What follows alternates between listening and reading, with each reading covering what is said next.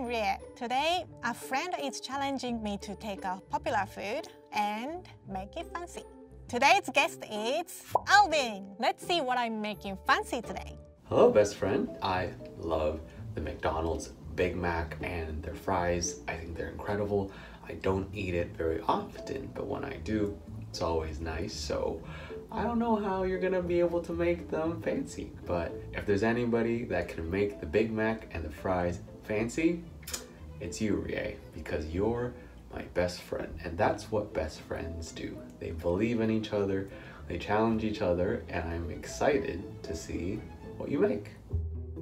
McDonald's, Big Mac, and French fries. I've had French fries, but I've never had Big Mac. I like hamburgers. Just seeing a package, Big Mac doesn't look like big. Wow, look nice though. Looks very rich and a lot. kind of sad looking pattern. Does it have pickles too? Yeah, there is a pickles. Oh, it's not bad. In the past, I always add neutralizing ingredients, but I think I should add more beefy components. And I'm not sure how I'm going to incorporate this soggy lettuce. It's not fancy. I think they have one of the best French fries. Alvin has made giant burgers for his show Make It Big, so it is natural he chose Big Mac. He made a giant, but I have to make fancy. This is I feel like one of the most difficult thing to make it fancy because it's one complete meal. Changing this is very hard, but I want to surprise Alvin. I have some great ideas and I'm excited to make it fancy. Alright, here's what I got. Short ribs, mushrooms, Gruyere cheese, butter, eggs, leeks, parsley, carrots, celery, thyme, cabbage, onion, garlic, and heavy cream. From the pantry, I got tomato paste, lemon, bay leaves, olive oil, salt, flour, beef stock, canola oil, brown sugar, red wine, and vodka, double alcohol. All right, let's get started.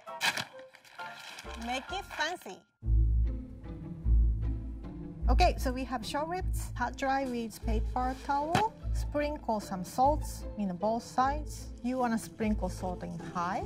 It will cover evenly. And heating up some oil about 2 tablespoons. This is the first time we use Instant Pot on this show. I don't have Instant Pot at home, but it's very convenient. It usually takes about 4 hours what I'm making, but if you use Instant Pot, you can make it about 45 minutes pot from future. Does it mean like we are already in the future?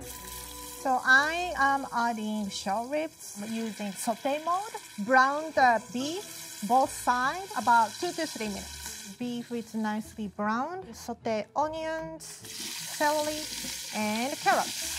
Sprinkle some salt so it cooks faster and also seasoning purpose cook until vegetable is a little bit softened. There's a brown bits bottom of the pot from sauteing beef. That is the flavor comes from. So don't wipe it off from paper towel or anything. Are you familiar with Ronald McDonald? I just read that in Japan. Uh-huh. Because there's no R sound, they call him Donald. Oh, it's this why. So his name is Ronald. I thought he was Donald, like uh, the do- duck. Veggies are and softened, add garlic and thyme.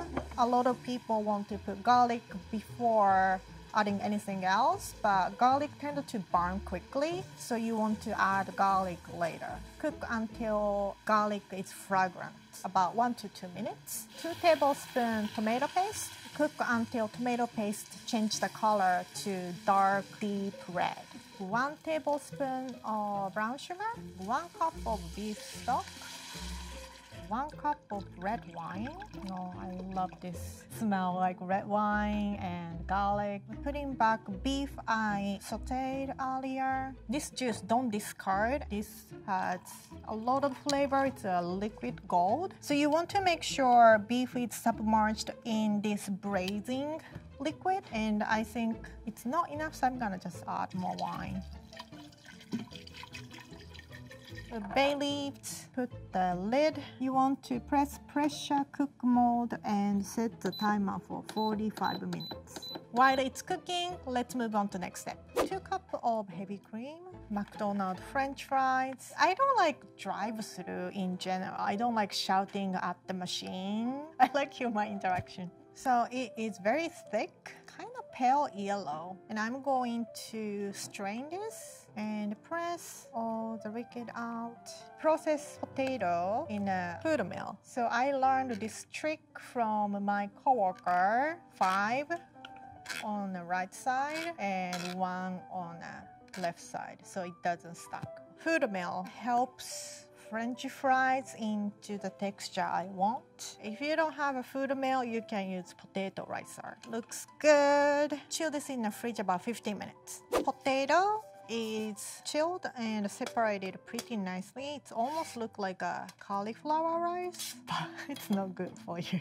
and I'm adding this into flour, add salt and toss.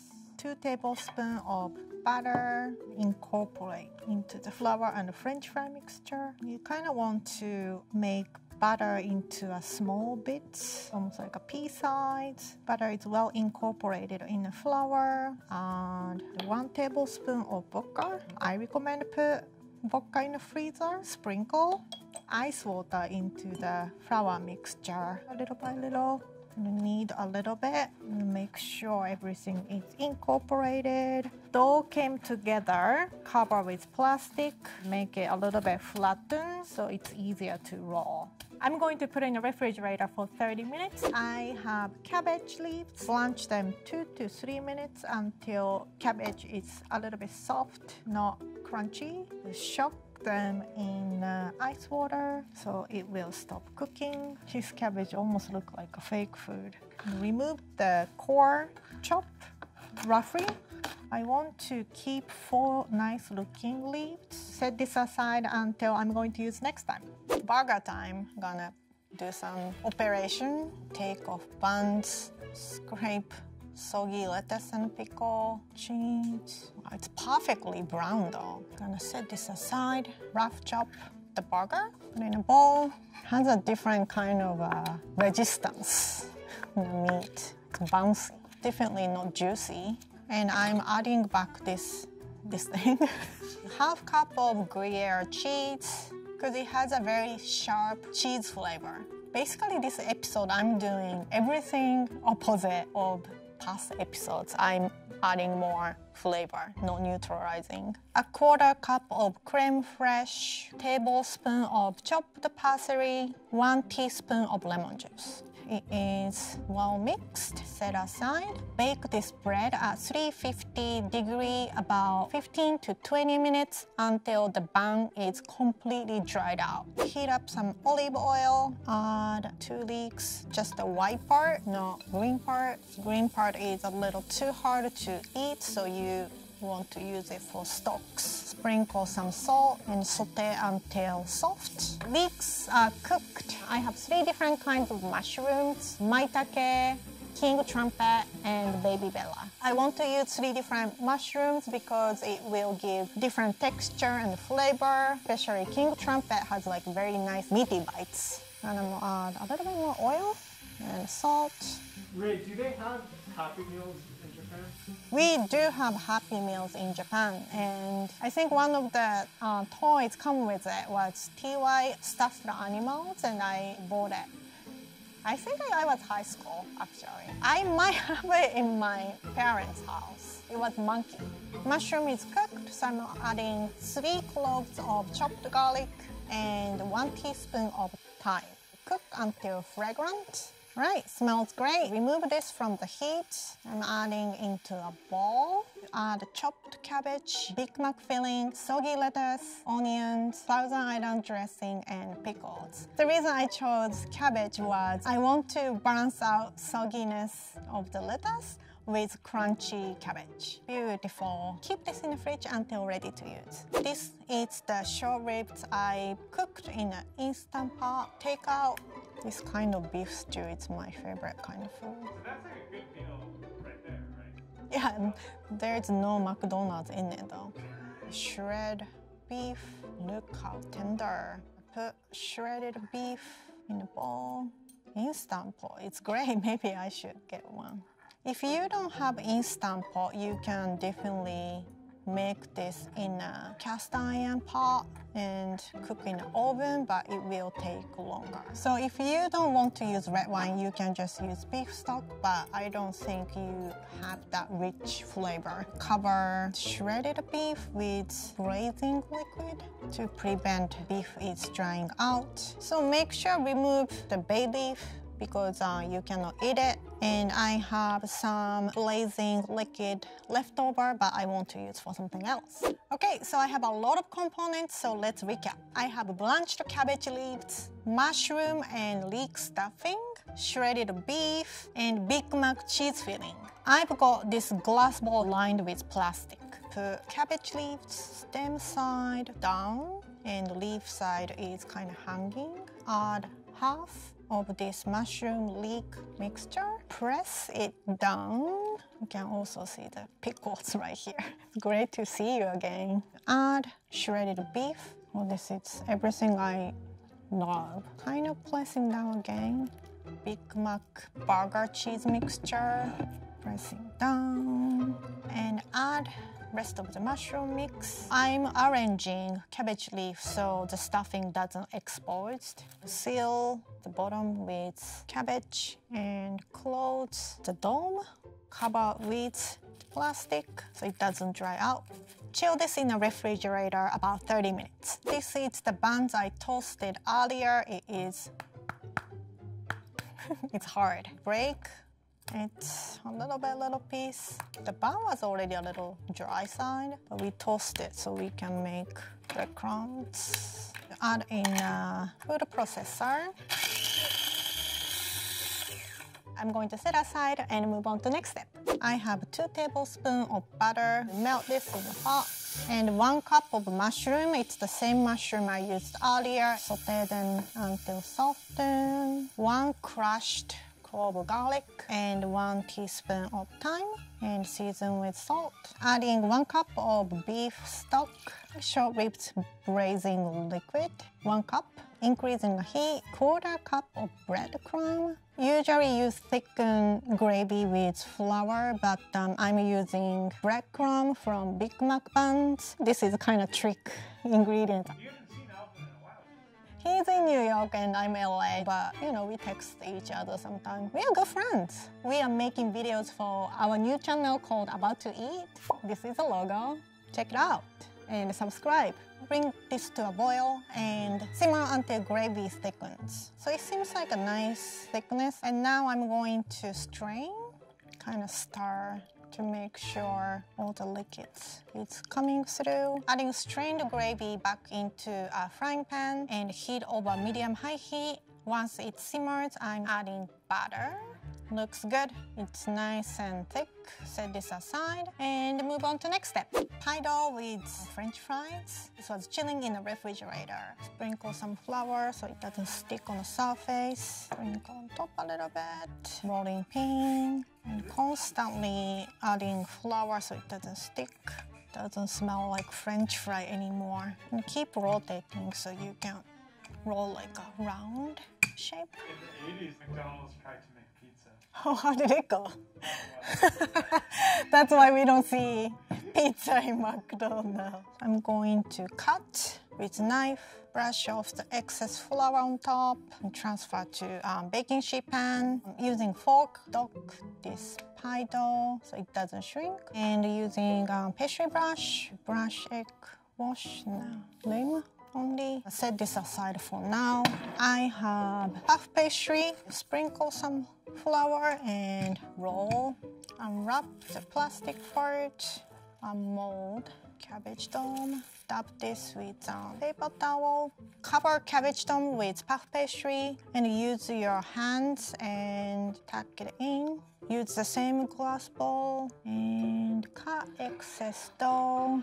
Use your thumb and crimp like you crimp pie dough. You want to brush egg wash when you bake the pie, it will give nice shine. You just want to score so you don't want to cut through. And in between line, I'm going to make another line. Use piping tip, cut leftover pastry and cut out. Use both sides and make look like a donut.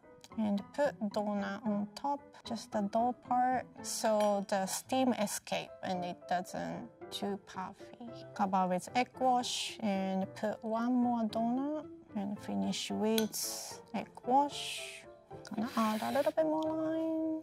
Sprinkle some sesame seeds. Sesame seeds kind of adds nice accent and it kind of look like the Big Mac bun. I'm going to put this in a refrigerator and chill about 30 minutes and bake this at 425 for 15 minutes so it will get nice brown color. Reduce the heat to 350 and bake another 45 minutes so everything cooks through. So my McDonald's pithivier is baked and cooled and I'm going to put in a plate. Here it's the gravy and we are done.